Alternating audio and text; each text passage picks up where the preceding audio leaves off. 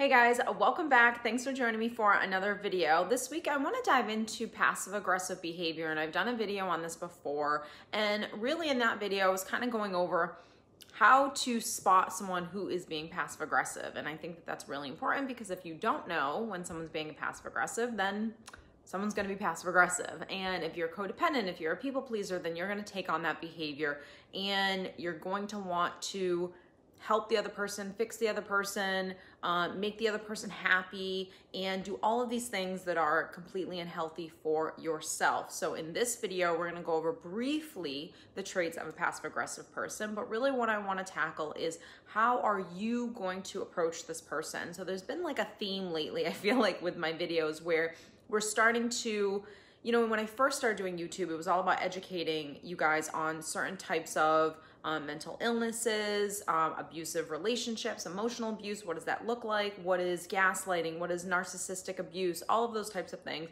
which are really important to learn throughout the course of your life so you can protect yourself. Then we start going into, okay, well, maybe I'm codependent, maybe I'm a people pleaser, maybe why am I the way I am? How can I heal? Why did I attract this person? So really in this video, it's not just about educating you guys on what passive aggressive behavior looks like. It's really how do you handle yourself when you are dealing with this type of person. So before we get started in this week's video, if you have not subscribed to this channel, don't forget to click on the subscribe button down below and also click on post notifications. That's the little bell right near the subscribe button. That will inform you each time I do upload a new video with a new topic. I am super excited and happy and grateful that this channel has grown to where it has and it will continue to grow um, because we need this kind of information and we need help in terms of healing ourselves as well. So let's dive right into this. So right off the bat, I just want to give you a couple of quick traits on passive aggressive behavior and I just wanted to make sure that I covered everything because I know in my experience I when I've dealt with someone who's passive aggressive they tend to use one or two of these um, tactics. And not every passive aggressive person is going to use all of them but I'm going to give you the list of just a couple of them so maybe you can recognize hey the person in my life that I have to deal with that's passive aggressive this is their drink of choice so the silent treatment, that 100% is passive aggressive. So when we're given the silent treatment, we're not verbally communicating with the other person how we feel, um, why we feel hurt, why we feel angry. We're just going cold turkey, no talking at all. Um, insults and subtle insults. So these are not blatant things that someone would, an insult that you would hear where you would go, oh my God, I can't believe you said that. You would almost be like, is that an insult? Did you just insult me? Like, so it's that type of tactic that a passive aggressive person will use. Um, moody behavior. So when someone is like sulking or grumpy or moody and you don't know why they're this way, and look, we're all moody from time to time, right? Maybe we're hangry, maybe we're aggravated, it's totally fine. But when we don't own why we are feeling this way and we don't communicate with that with other people, that could be a form of passive aggressive behavior. Stubbornness, 100%. And I always read this and um, it's never really happened to me when I've come in contact with someone who's passive aggressive, but I can 100% see where this does happen. It's someone that fails to deliver what it is they said they were going to deliver. So, for example, let's just say that your friend Sue promised that she was going to bring you to the airport. And because now you didn't do something for her that she wanted, or because she's angry for whatever her reasons are and she's upset with you, she's decided to cancel that promise on you. So that would be kind of a passive aggressive way of handling the situation. So now that we've kind of tackled just the basics of that, and if you guys want more information and really diving into passive aggressive behavior and how to spot it, definitely go check out my video. Just type in in the search bar Stephanie Lyn passive aggressive. So, and you can watch that video. So, but what I wanna get into is how you can deal with this type of person, how you are going to approach this person because you are a healthy, self loving person.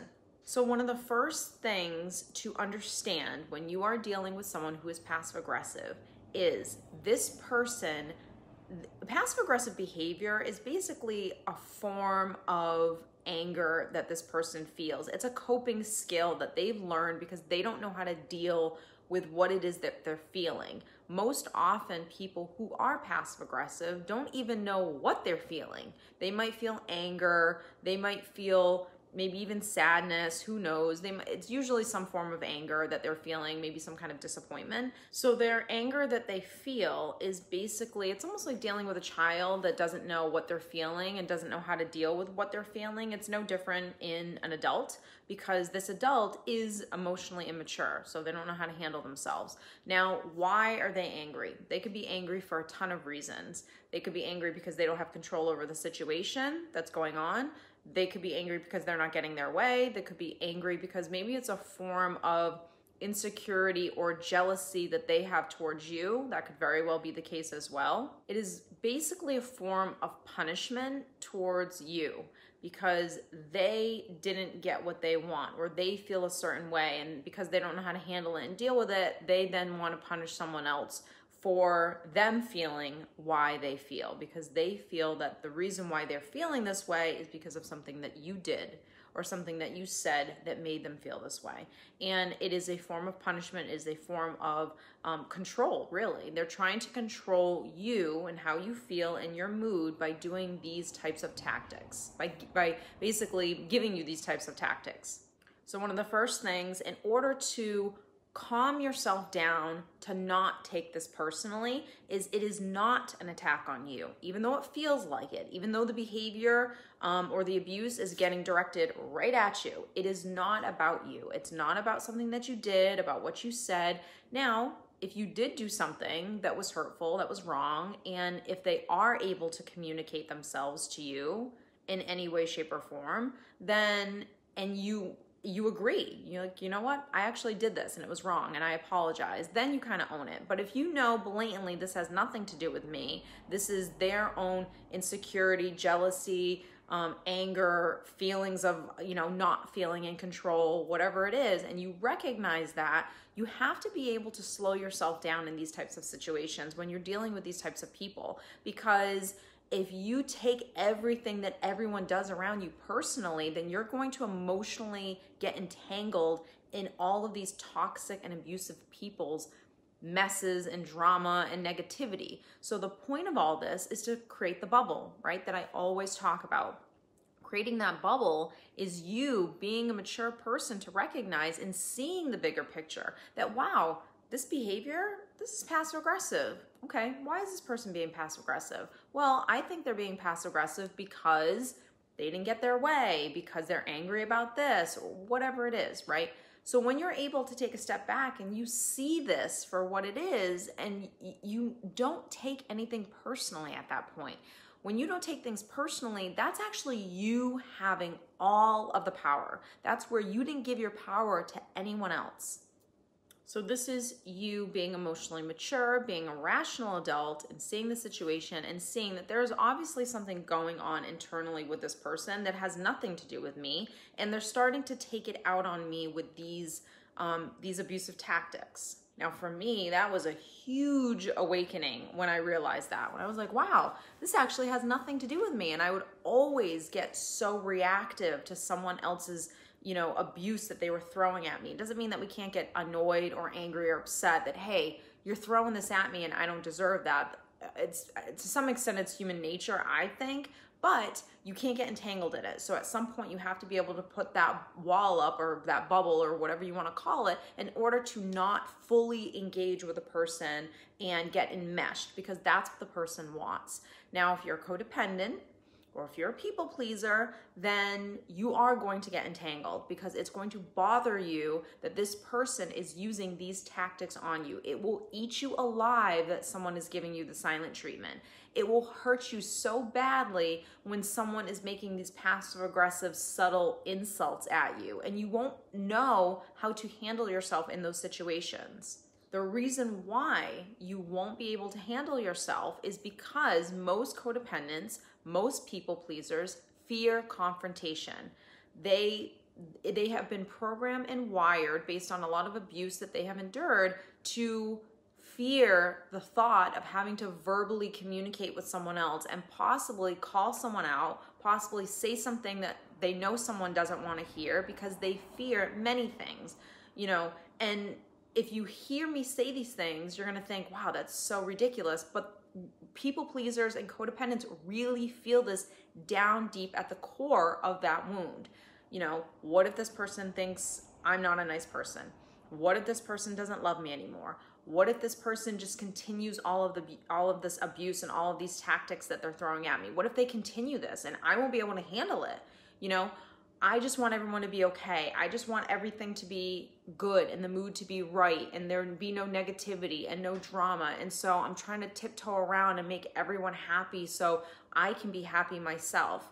This is kind of like the inner conversation that goes on with someone who is codependent or a people pleaser. Now, just like someone who is codependent and a people pleaser, they're probably not the best communicators. I know for me, when I was knee deep into all that kind of stuff, I was a terrible communicator because I would constantly react and I would get so angry and I would just almost not know what to say because I would get so frazzled. Whereas now, because I'm more calm in situations and I see things for what they are and I've you know, time and time again, learn to hold on to myself, hold on to myself, that I can articulate myself in a healthy way because I've slowed myself down. I don't allow that behavior to take hold of me and all of that anger to come to the surface because I know that if that happens, that person then has control over my state and over my mood and my energy level. And I never want anyone to have that kind of control over me.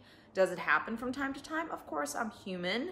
But as soon as I recognize it, I immediately am like, okay, here I go. I'm calming myself down. I'm to take a step back. Maybe I leave an interaction with someone so I can get a breather myself and become a little bit more rational because maybe I've let that that energy take over, that negative energy, and slow the conversation down.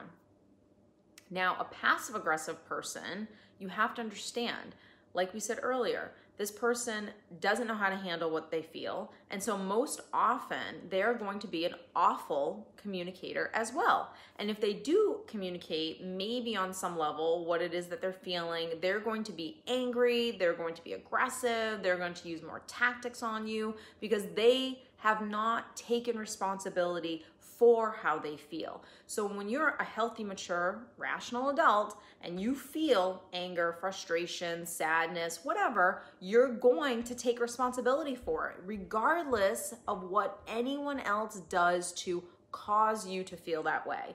You are going to say, you know what, even though what that person did was hurtful, I'm going to take responsibility for how I feel.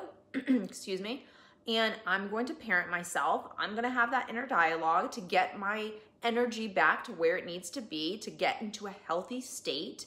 And this person is not capable of doing that. So, because you're dealing with this type of person, you are dealing with someone as well who is a terrible communicator. So, you cannot be intimidated by this person and the fear of confrontation of having to verbally talk to this person about the behavior that they're displaying. One of the first things that I definitely learned when I was going through all my stuff was I stopped apologizing. When I was that codependent, that people pleaser, I constantly said I'm sorry. I said I'm sorry for things that I I was not sorry for. Like it had nothing to do with me. So if someone felt angry or upset, my first reaction was to just say, oh, I'm so sorry, I'm so sorry, even though I knew I wasn't doing anything wrong. So if you know you're not doing anything wrong, then there's no need to apologize for something. You can say, I'm sorry you feel that way, but to say, I'm sorry, means it basically it almost condones the behavior. So hey, when you do this behavior and you give them you give me all these tactics and I apologize, that's what the person wants because they want to put the blame on you for the reason why they feel the way they feel. So we can't apologize for someone feeling the way they felt when it's their responsibility and it's something that they have to take care of. So this is where it all goes back to, you know, people will treat you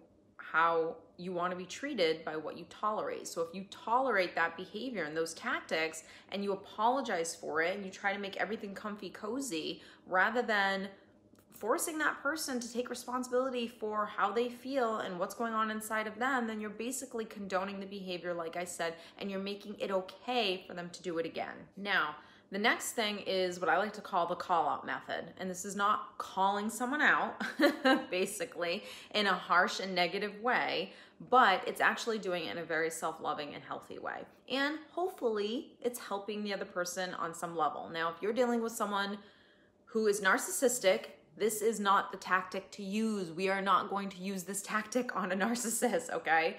So we'll get into that into another video. But if you're dealing with someone who is not full-blown narcissist maybe they have a couple traits maybe they have a couple tendencies but you're not dealing with someone who is severely ill in this sense then here's what you do if you have any idea on why this person is behaving the way they are. So you've taken a step back and you say, okay, you know what? I really think this person is feeling this way because they're angry and they're angry about this. You 100% and this is where I always say it's good to practice these things. It's good to practice these statements sometimes, and then you can kind of make them your own. But what I always say to someone is, You seem really upset right now from something, and that is perfectly fine. But the way you are behaving towards me and how you're treating me is 100% not okay. You can have your opinions on how you feel, but it's not my job to help you through what it is that you're feeling. So I would appreciate if you not treat me in this way. And then you disengage. Now, it's that's kind of a long statement, but really what the basis is is that you want to tell someone, "Hey, look, I know that you're being passive aggressive, and this behavior that you're giving me, these subtle insults, this silent treatment, this whatever it is that is their drink of choice, I recognize it, and I think you're doing it because you're upset about blah, blah, blah. And that's fine that you're upset about that, but this behavior is immature and I'm not going to tolerate it. And this is when you disengage. Now, if you continue on in this conversation and you begin going back and forth and you're not able to hold on, so obviously the person is going to say something. They're not just going to be like, and just let you walk away. They're probably going to have something to say. So if this is where it is the test for you to be able to stand in front of this person and basically, what you're doing is you're just reiterating the same statement, just in a different way. So it's not about trying to get the other person to see your point.